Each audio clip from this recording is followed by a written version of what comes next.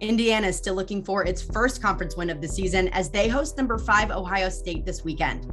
The Buckeyes are coming off a bye after a 66 to 17 pounding of Maryland in week six. And freshman quarterback CJ Stroud has proven continuously he can get the job done.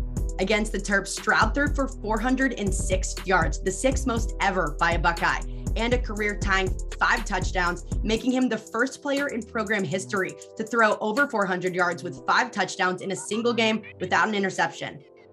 Indiana sits at 0 3 in the Big Ten after a tough 20 15 loss against Michigan State last week. But the Hoosiers' defense held solid, holding the nation's leading rusher to his second fewest yards per carry this season. Indiana missed quarterback Michael Penix and will have to rely on others to step up if they want to take this big one.